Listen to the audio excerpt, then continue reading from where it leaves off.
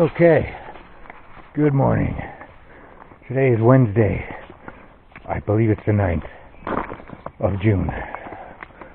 I'm going up this hill. I'm at about mile 380. And I got dropped off by the shuttle driver just a little while ago. You can see the parking lot there where people get dropped off. Other people either getting dropped off or waiting to get picked up. Anyhow, I planned for myself a 14 to 15 mile day, depending on which signs and which charts. It's 14, it's 15. I'm figuring 14 and a half. Now at my usual pace, and it's granted a low pace intentionally so that I don't trip myself up too badly. So that would be a mile an hour, be a 14 hour day. I'm pretty sure I can do it in 12 or less, hopefully. Good morning.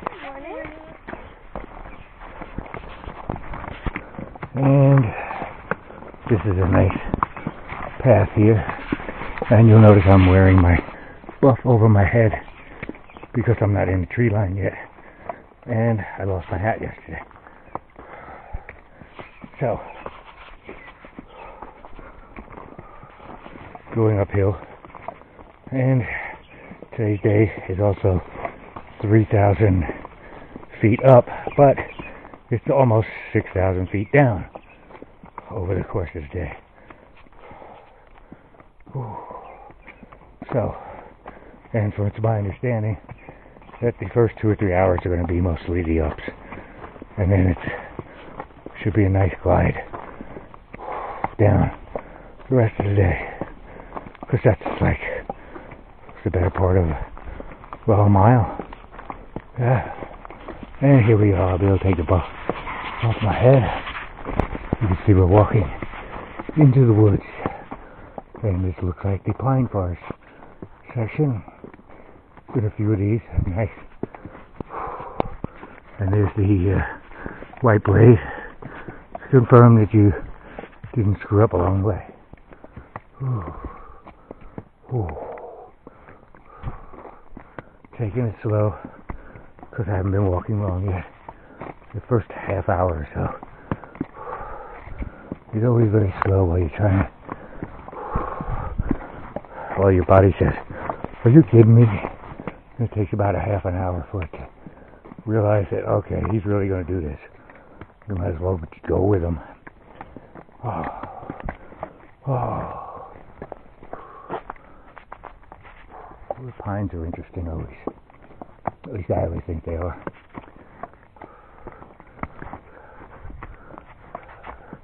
If I had to camp and didn't have sites already designated and picked out, these are the kind of areas I'd look for. Even with a hammock. You know, people complain you get the sap off the pine trees, but other than that, you usually have a very nice open area in between.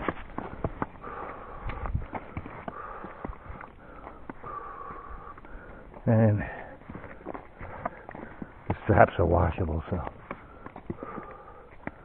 uh, on the hammock. All right, I'm gonna turn this off until I have something substantial to say again. And uh, we'll see you later. Bye bye.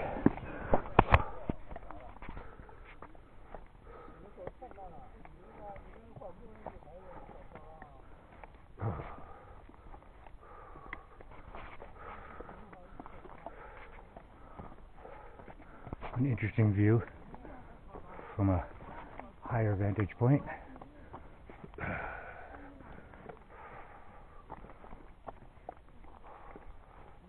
Not up to the top yet, but we're working on it.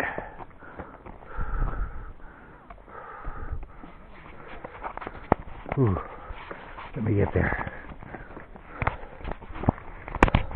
Still Wednesday, and here is the other side of that hill or mountain.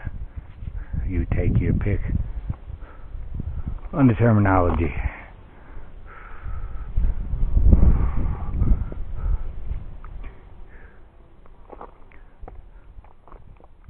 It's beautiful. I will tell you that.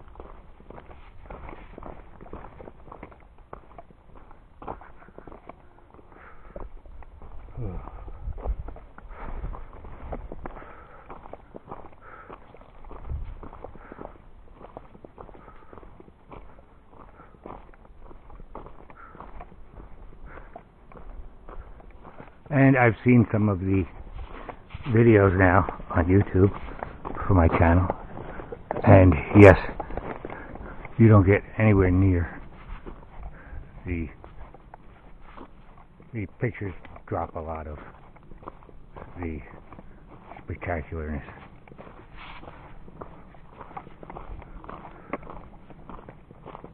Good morning. Hi.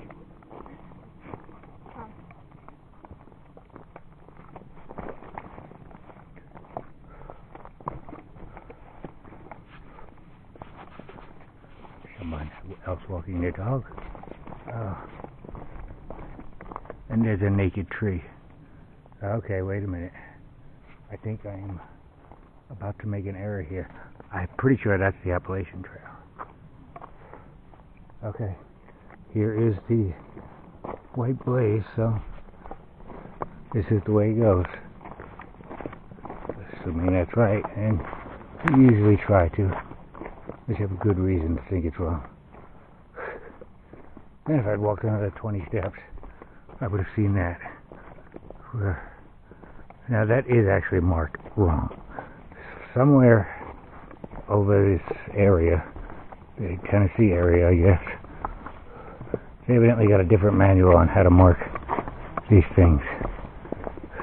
It's not bad, it's just not what you're expecting. There is a marker there.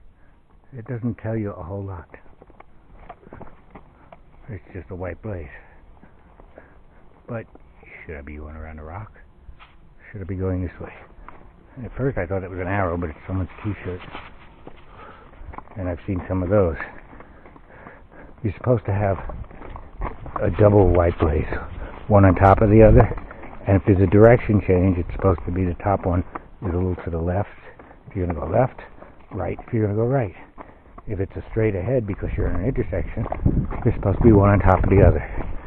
But in Tennessee, we've noticed quite a few where a couple that were actually just wrong completely because the trail obviously goes this way and it would give us the thing going the other way, the indication. Or they would do one on top of the other and then the trail would change. Now, one on top of the other can just be pay attention, there's a change coming. But if you know it's left or right,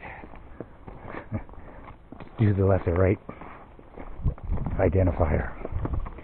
Instead, sometimes they put an arrow underneath, which helps so you do get the thing, but it's like confusing.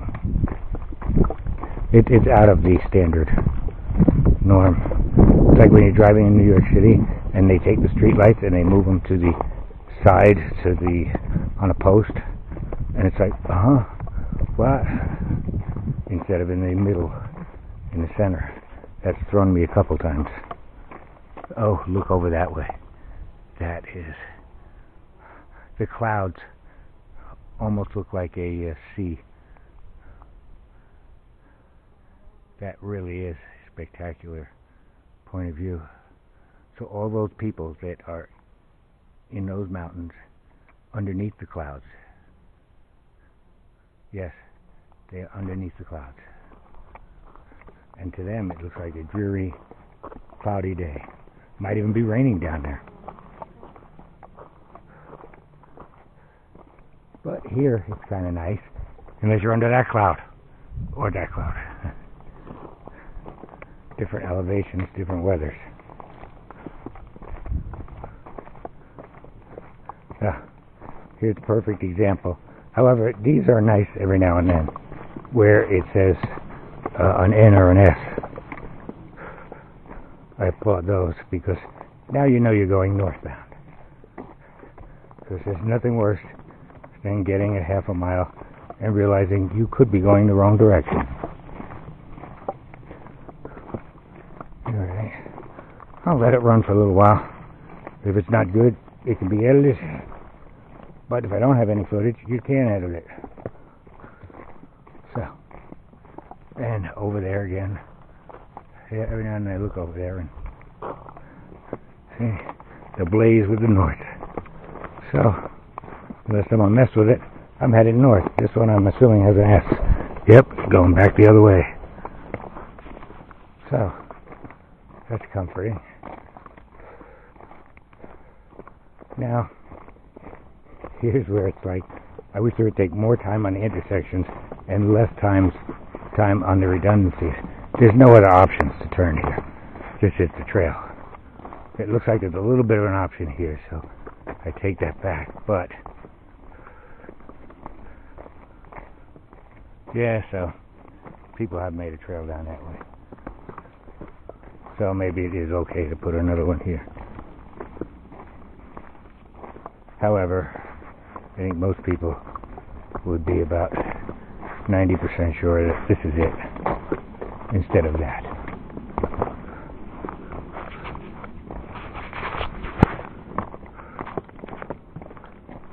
Oh, and you have the orange, the plant, like pumpkins getting ready to go, except pumpkins are always lower.